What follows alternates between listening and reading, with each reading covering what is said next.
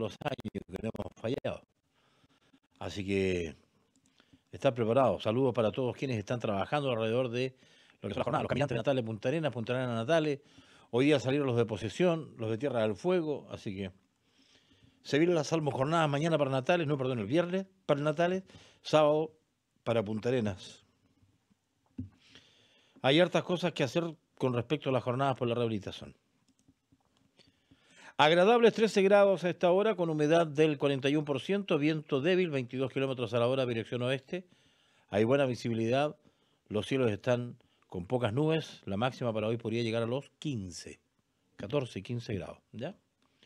No los 21 de ayer o los 25 que hubo en Cerro Sombrero, pero está bastante agradable la temperatura también. Comenzamos las noticias acá en Peguno Radio. Estos son los titulares. Por decisión judicial, un hijo que le tiró una silla a su madre tendrá que someterse a una terapia psicológica. Una mujer denuncia el robo de diversas especies por desconocidos desde su domicilio. Y la realizó importante firma de convenio con empresa Total Energies. El objetivo es generar proyectos de investigación y desarrollo en materia de energías renovables y combustibles sintéticos de baja huella de carbono. Escuchas el informativo más completo de la región de Magallanes a través del noticiero de Pingüino Radio.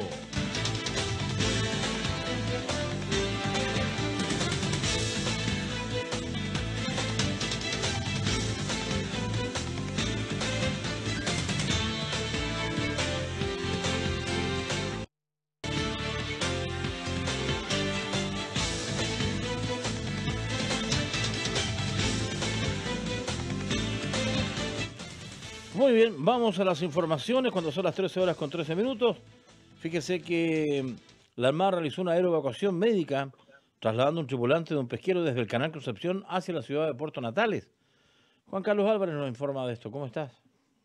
Hola Jorge, ¿cómo estás? Buenas tardes. Eh, como tú bien dices, personal de la Armada, ¿verdad? Realizó un operativo médico y una evacuación por parte de un tripulante, ¿verdad? De una, eh, de una embarcación pesquera este, esta, este trabajo verdad que realizó la Armada en conjunto con personales civiles, también hablemos de, embarcaciones civiles que eh, justamente hicieron este, esta, um, esta situación verdad que ocurrió en la ciudad de Puerto Natales, eh, una, un tripulante de una embarcación denominada justamente eh, una embarcación médica denominada perdón, justamente Karen Segunda, Karina Segunda, perdón, eh, en donde solicitaba la evacuación de una persona que se encontraba en algún estado de salud complicado. Fue así que la, la, Armada de Chile, ¿verdad?, mediante vía radial, rápidamente activaron los eh, protocolos de emergencia y con eh, apoyo de civiles, también embarcaciones civiles y la LSG 1617 de Puerto Natales, eh, lograron verdad dar y llevar eh, a puerto a esta persona, también en coordinación con personal de SAMO de la ciudad de Última Esperanza. De esto se refiere el capitán de puerto de Puerto Natal y capitán de fragata del litoral Octavio Valenzuela Iturra, respecto al trabajo que hizo la Armada verdad y de esta evacuación. Un llamado telefónico por parte del contacto en tierra de la lancha motor Catina Segunda que se encontraba en faena de pesca en cercanía del canal Concepción informando y solicitando la evacuación médica de un tripulante que se encontraba con fuerte dolor abdominal agudo en el sector derecho y vómitos durante 24 horas.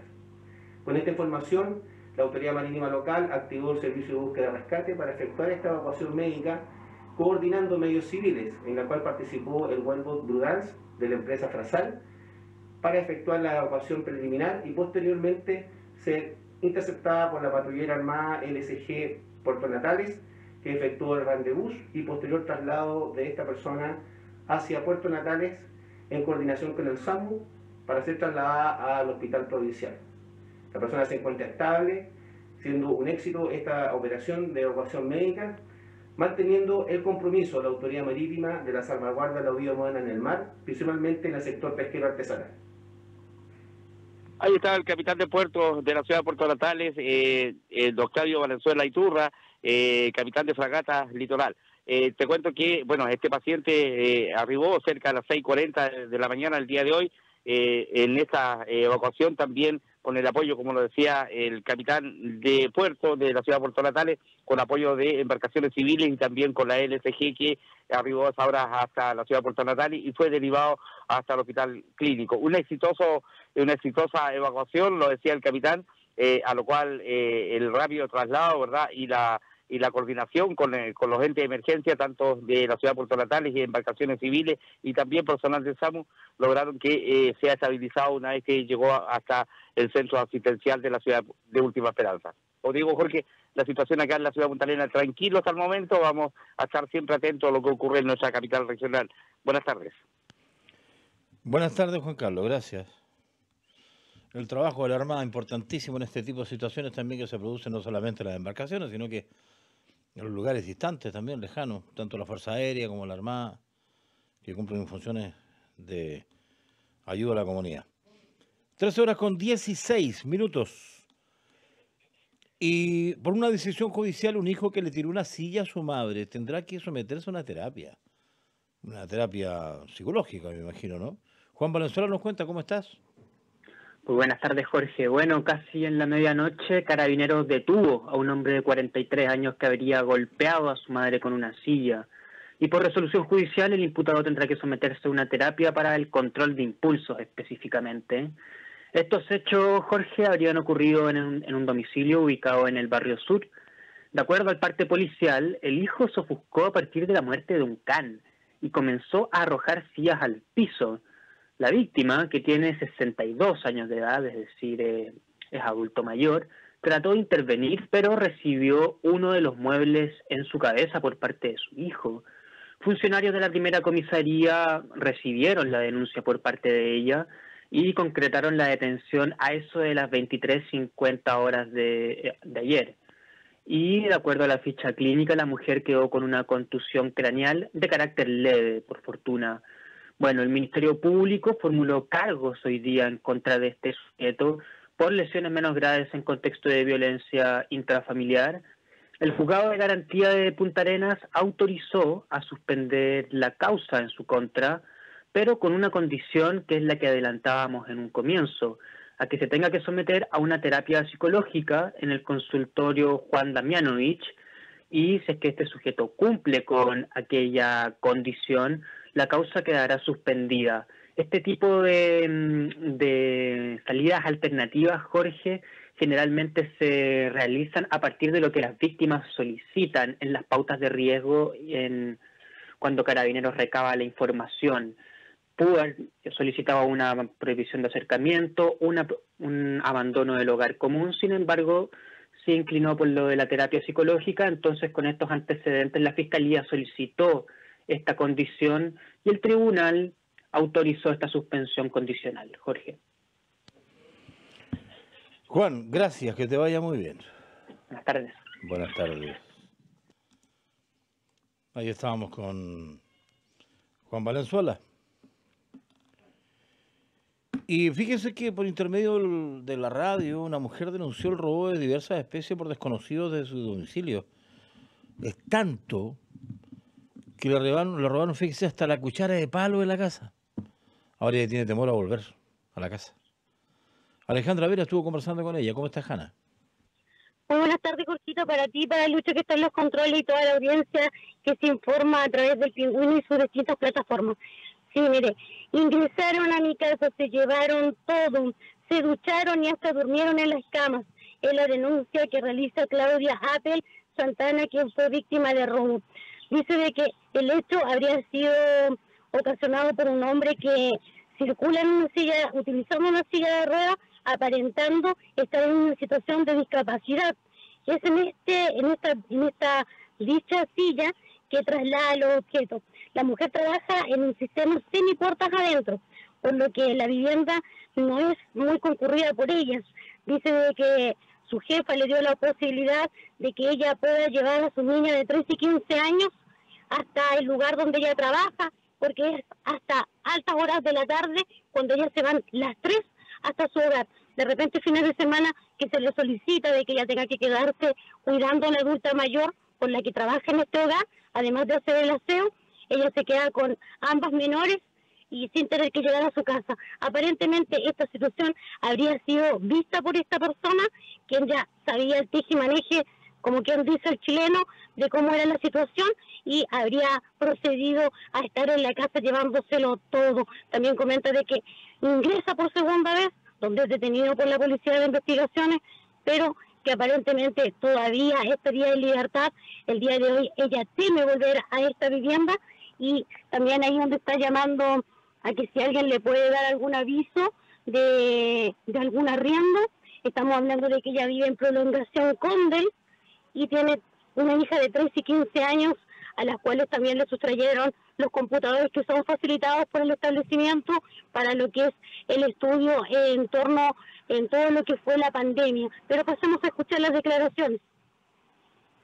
Bueno, yo me entero por parte de, de un vecino que él fue a... Eh, dice que sintió una bulla a las 10 de la mañana y él pensaba que eran mis hijas las que estaban ahí y lamentablemente mis hijas estaban acá porque como ella, como usted acaba de decir, mi jefa me dio la oportunidad de, de trabajar junto con ella y y la verdad de las cosas es que eh, cuando una de mis hijas va a ver quién era que estaba, se encuentra con la sorpresa de que eh, se habían metido a mi casa, habían dado vuelta todo, rompieron todo lo que pillaron, se robaron todo al destajo.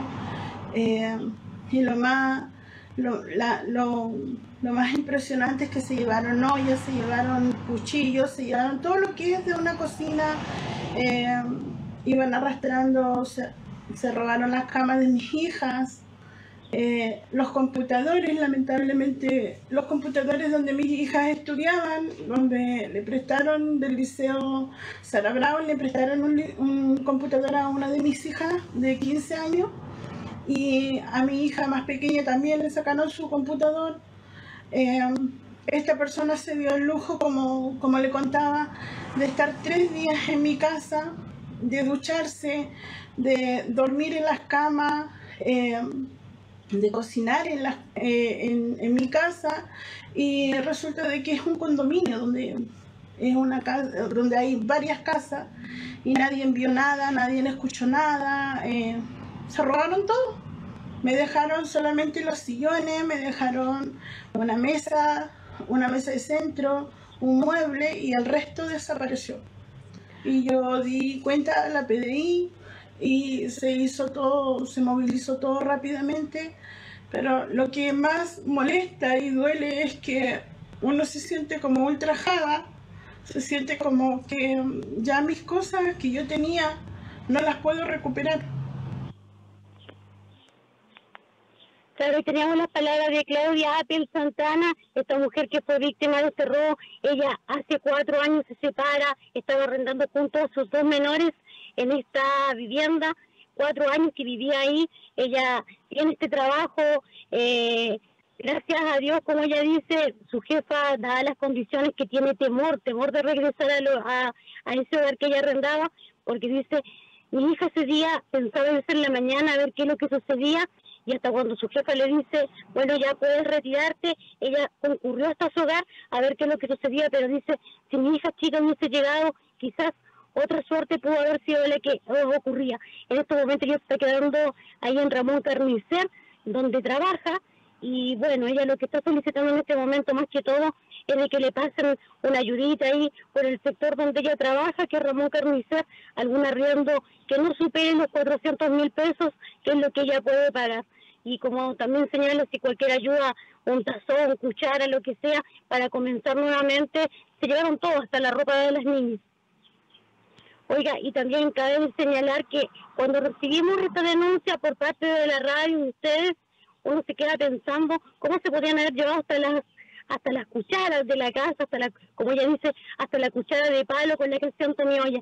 Pero también uno se coloca y remonta un poquito más atrás hará unos cuatro o cinco años atrás, si bien recuerdas tú, también tuve una denuncia que la gente del cementerio decía que estaban robando todas estas figuritas que colocan, que rompían hasta los vidrios de los nichos, entonces uno ya daba como indicio de que podía tratarse de algo similar. Claro, ella dice, son gente en situación de calle la que ingresó a su hogar eh, ya deben haber sabido de que ella no estaba muy frecuentemente y que los fines de semana le tocaba trabajar cuidando a esta adulta mayor. Muy buenas tardes, Jorge. Buenas tardes, Hanna. Eh, a ver, no entiendo qué habla la justicia porque la persona fue detenida, sorprendida dentro de la casa, con una silla de ruedas llevándose las especies. Y queda en libertad. Y la persona que está viviendo la inseguridad es la persona de la casa y no el ladrón. Entonces, ¿cómo será la presión que, que produce el ladrón que las personas están pidiendo que por favor la rienden en otro lado para dejar esa casa? O sea, ¿de qué justicia estamos hablando, por favor? Ya, vamos a las cifras de salud mejor con Marcelo Suárez. ¿Cómo estás, Marcelo? ¿Cómo estás, Jorge? Buenas tardes. Acá nos encontramos eh, ya de regreso para comentarte que eh, está bastante preocupado el, eh, la autoridad de, salud regional esto ante el aumento de personas sintomáticas que están eh, siendo confirmadas a través de los distintos exámenes, eh, ya sea de PCR o antígeno, como positivos a COVID-19. Esto porque tan solo entre el 2 de noviembre hasta la jornada de ayer 9 de noviembre se habían notificado 86 nuevos casos de coronavirus, de los cuales 71 corresponden precisamente a personas que presentaron síntomas previo a la confirmación del virus. Muchos de ellos, lamentablemente, con consulta tardía a los distintos sistemas de salud, ya que confunden muchas veces su sintomatología con un resfrío simple o incluso las conocidas ya alergias estacionarias, por lo que la autoridad sanitaria, en voz de su Seremi de Salud, Eduardo Castillo, explicó que es preocupante y sobre todo bastante importante el realizar una consulta médica oportuna lo antes posible ante la más mínima presencia de síntomas que se puedan atribuir a coronavirus.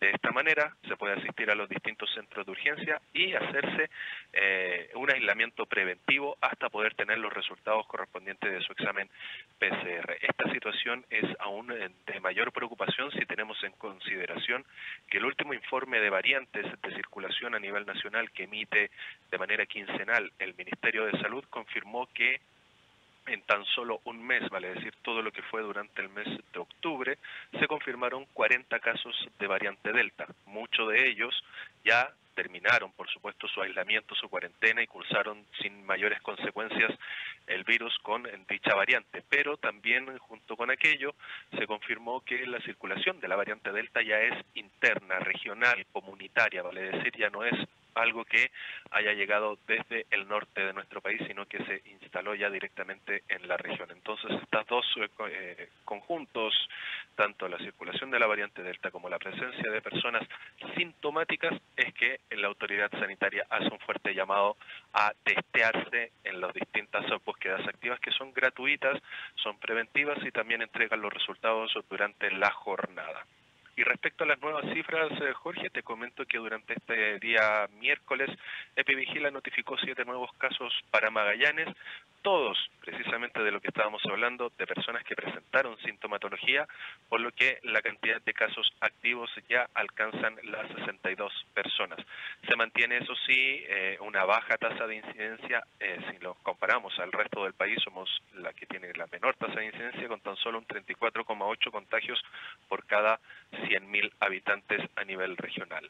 En tanto, la situación hospitalaria, lamentablemente, vuelve a presentar un alza en su ocupación de personas afectadas al virus con tres personas, tres usuarios hospitalizados, todos en el Hospital Clínico Magallanes, uno se encuentra en eh, sala de la unidad de tratamiento intermedio, más dos personas que ingresaron a sala de aislamiento. En tanto, como te hacía mención, este llamado al testeo al testeo preventivo y oportuno, por lo menos surgió efecto durante la jornada de ayer, ya que se notificaron este miércoles 760 exámenes de PCR, los cuales fueron analizados en los distintos laboratorios que componen la región, y de estos 760 se detectaron cinco casos a través de PCR, porque los otros dos, para completar los siete notificaciones, fueron a través de antígenos, por lo que la positividad del día alcanzó un 1% y la acumulada de los últimos siete días se mantiene en un 2%. Jorge, entonces, El llamado es a testearse, están los operativos de búsqueda activa en distintos lugares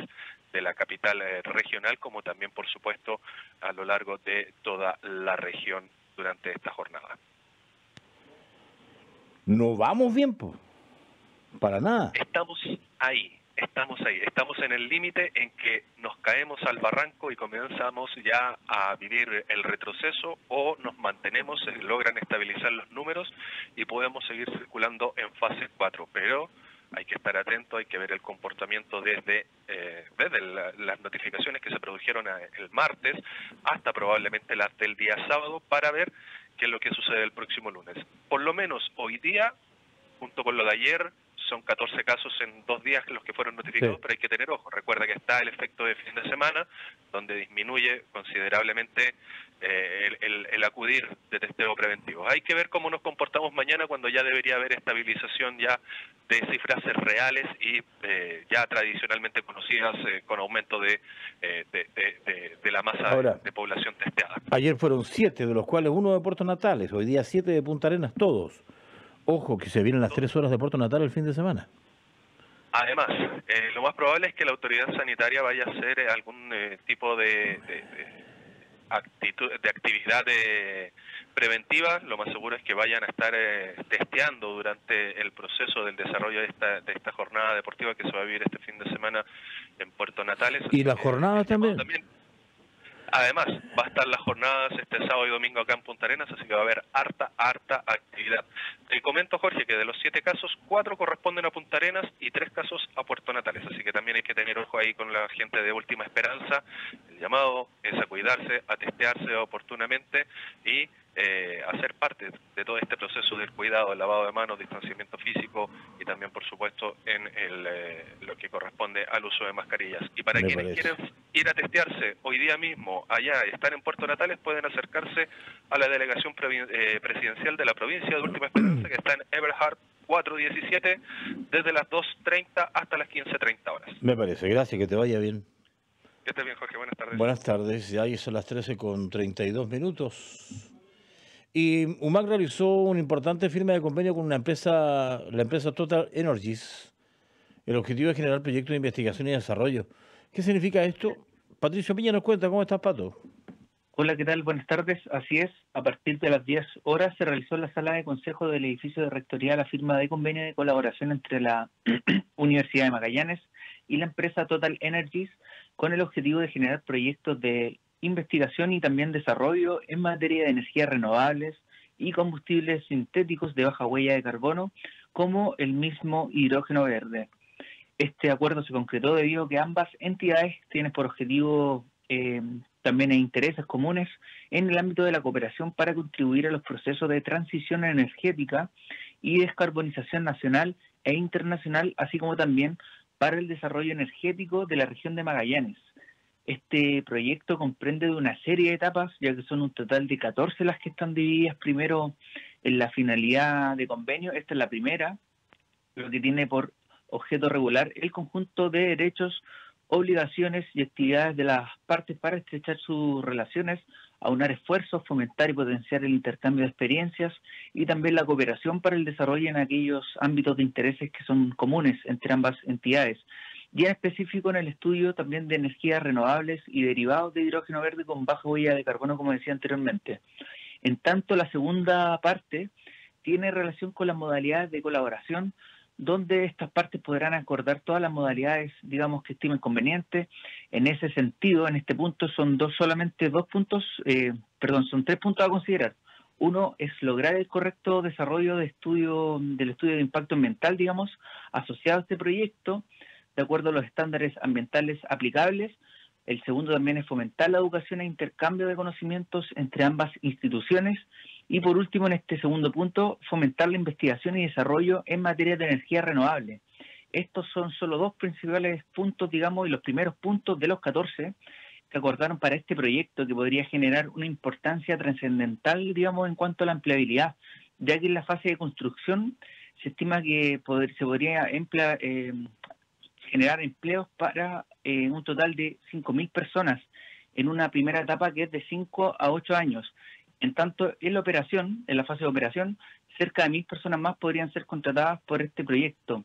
Se realizó un punto de prensa, digamos, en estas instalaciones donde estuvo el rector del UMAC, Juan Oyarzo, el director también del Centro de Recursos Energéticos del UMAC, Humberto Vidal junto a Antoine Laine, representante de la empresa Total Energize. Escuchemos lo que dijeron a continuación. Bueno, el proyecto, este convenio que estamos firmando de la empresa Total Energy consiste en cómo la universidad se va a vincular a esta empresa que tiene por, objetivo final la obtención del hidrógeno verde.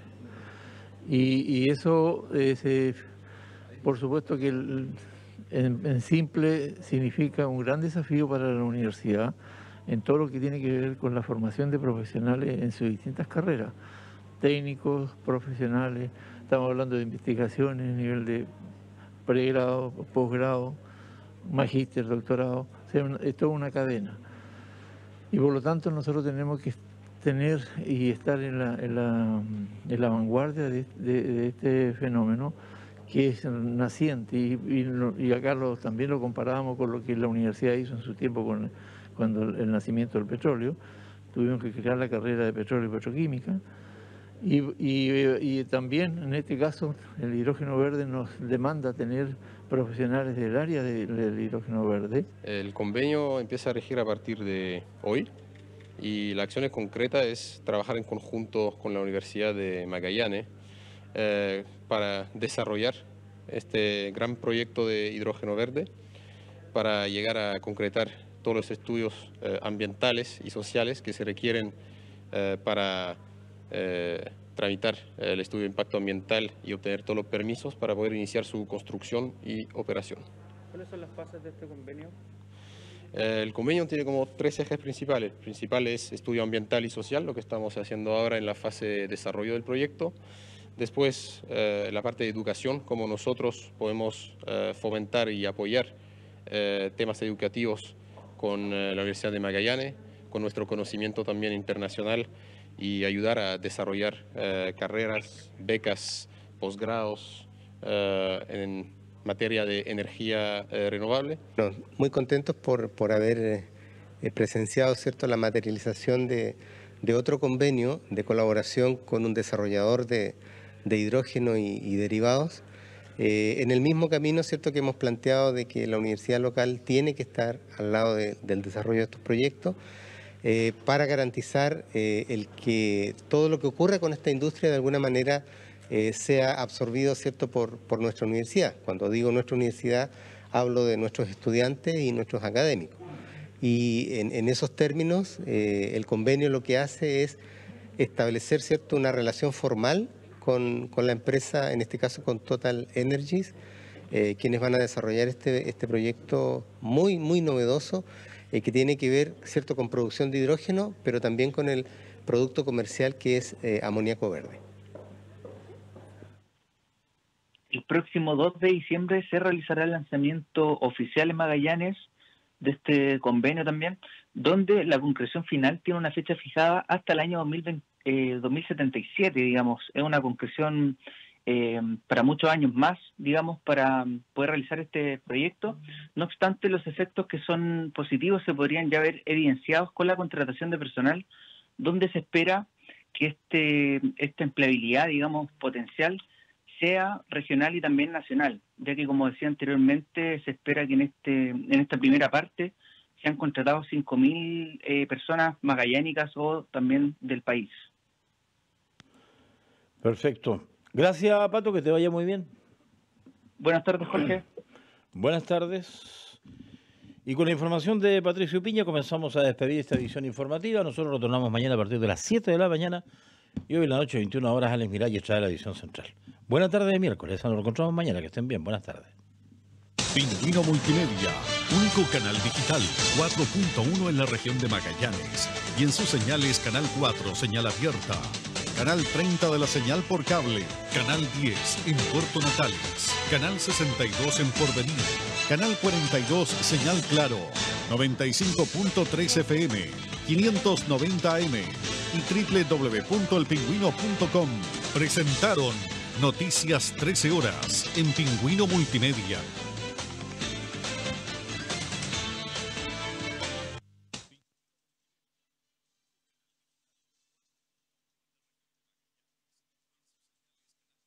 Oye tú, sí tú, ¿y si hacemos un cambio? Si cambias el cansancio de la escalera por el de una pichanga, la fritura por una frutita o el auto por la bicicleta. En Red Salud estaremos siempre disponibles para que juntos hagamos un cambio. Si tu estilo de vida impide que vivas de manera normal y necesitas cambiar, consulta por cirugía bariátrica y su programa integral para que junto a un gran equipo de especialistas hagamos un cambio. Encuentra más información en redsalud.com. рыцарь.